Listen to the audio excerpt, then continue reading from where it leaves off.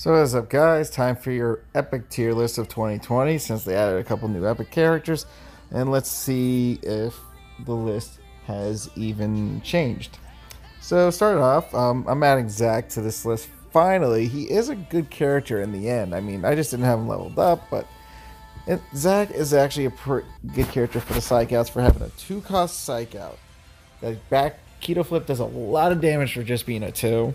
And Windmill is probably like his only downfall attack. But everything else is pretty solid for the character to be in this top 10.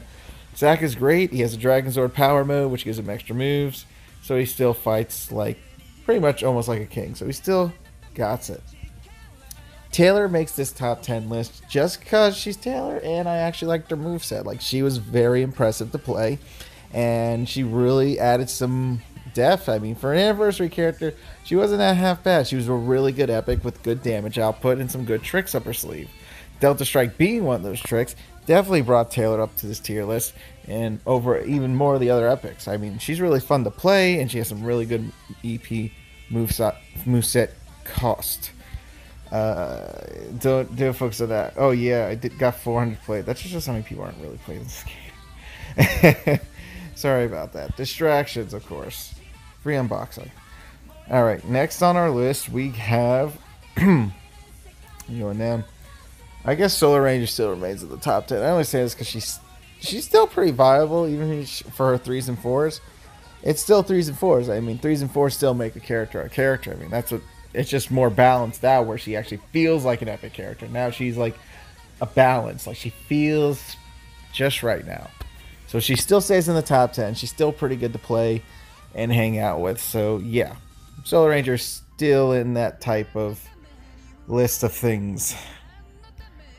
All right, next we have Goldar. Goldar's on this tier list. I don't know why I didn't put him on in the first place, but no, no, he gets it. I was just making a joke. Goldar's definitely in the top 10 of epic leaders to play. Very OP leader. By OP, I mean he has really good tricks. The sweep is uncanny. I mean, the fact that Goldar Slash now sweeps is really busted. And you can go into any of these breaker moves that do heavy amount of damage. So the fact is Goldar makes this list because he now he's much better. He has sweeps. He can do anything it's a it's one of the, the craziest characters now. Ever since that update, Goldar is definitely more used and more fun to play. Alright, in this top 10, obviously, Black Dragon finally made his way to this list after all this time with that update. Black Dragon can fight. He has hyper armor, as he should, because he's a freaking robot with hyper, black being off the Dragon Sword and all that nonsense great character now, very fun to play, and also nice for tricks as well, due to the hyper armor. So you can get around a lot of strikes and breakers and shields if necessary, depending how long a shield lasts. So he makes our top five cut. I mean, well, top ten, you know what I mean. Uh, Gemma, nothing's really changed about her. Like, absolutely nothing has changed about Gemma. She's still good. She's still very usable. Like, honestly, you can't go wrong with Gemma.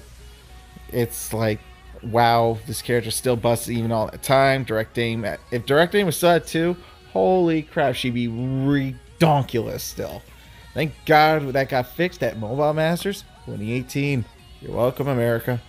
So yeah, Gemma is good where she's at. She's still a strong fighter, nonetheless. If you own her, congratulations. You have some of the top ten epic leaders, like for sure.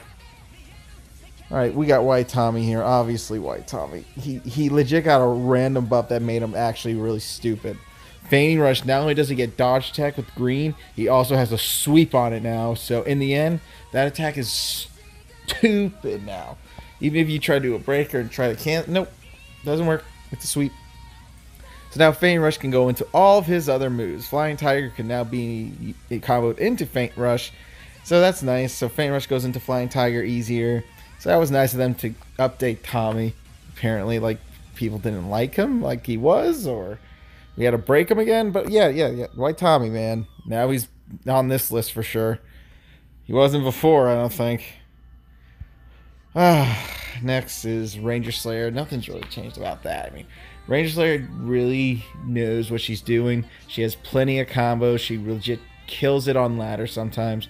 Once you get blast splits off, the combos start to begin, and you're legit doing a 20,000 combo in like two seconds. It's really great character nonetheless. Because once you nail it, it's over, and Ranger Slayer just starts killing ladder with ease. Like she's very strong. Like I remember I got this character, I couldn't believe it. Now she's like the best leader of epics still today. Honestly, I, I gotta give it up to my boy Lambo.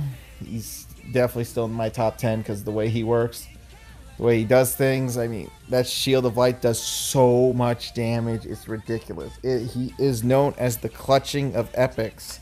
Just that one shield smash, and you get away with everything. It's one of the best moves, one of the best things to do, and he's just a very, very strong character, and that's why he's still in the top ten. So if you own him, congrats, because he's awesome as fudge, and he actually kills a lot too. He's always been the clutch. People called him trash at the beginning. I started playing him, and I started seeing all the big potential with that shield of light doing like a twenty thousand crit. That was nuts. That just I'm sorry. He stays on he stays on this list for a while until that shield of light somehow gets nerfed. Period. And of course, last but not least on this top ten is Psycho Green.